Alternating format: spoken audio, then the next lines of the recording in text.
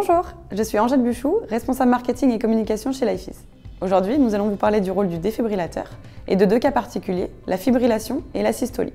Je vous laisse en compagnie d'Inès, ingénieure chez Lifeis, et du cardiologue Jérôme Lacotte.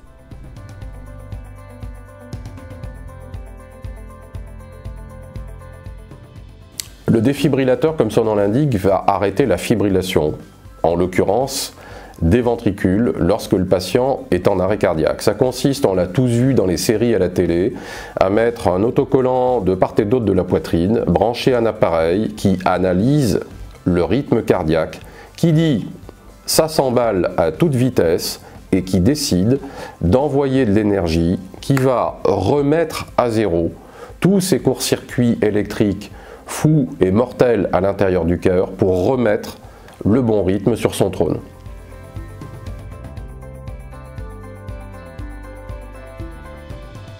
Clark est un défibrillateur autonome. Dès qu'on appuie sur le bouton ON, il demande de placer les électrodes sur la poitrine de la victime. Une fois les électrodes détectées, le défibrillateur commence l'analyse des signaux électriques du cœur. C'est à ce moment-là qu'il enregistre un électrocardiogramme.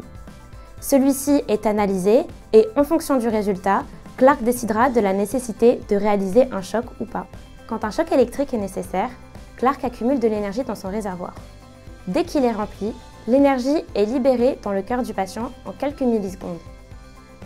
L'objectif est de faire passer un courant électrique important à travers le cœur, dans un sens puis dans l'autre, pour retrouver un rythme cardiaque normal.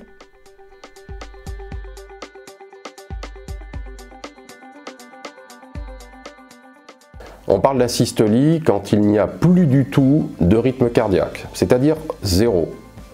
Et là aussi, lorsqu'on est en asystolie, il y a un arrêt cardiaque. C'est donc une cause d'arrêt cardiaque, mais qui est beaucoup, beaucoup moins fréquente que la fibrillation des ventricules, qui elle correspond à un emballement du rythme.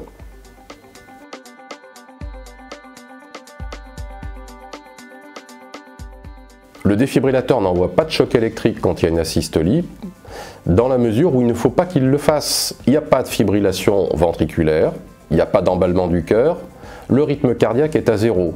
Le défibrillateur est là pour confirmer le diagnostic, indiquer qu'il faut continuer à faire un massage cardiaque jusqu'à ce que les professionnels de santé interviennent pour injecter un médicament puissant capable de relancer le bon rythme à une fréquence normale. Face à un arrêt cardiaque, les trois gestes à retenir sont alerter les secours, réaliser un massage cardiaque, utiliser un défibrillateur. Vous l'aurez compris, le défibrillateur décide seul de la thérapie à adopter. Alors laissez-vous guider, car le seul risque que vous puissiez prendre, c'est de sauver une vie.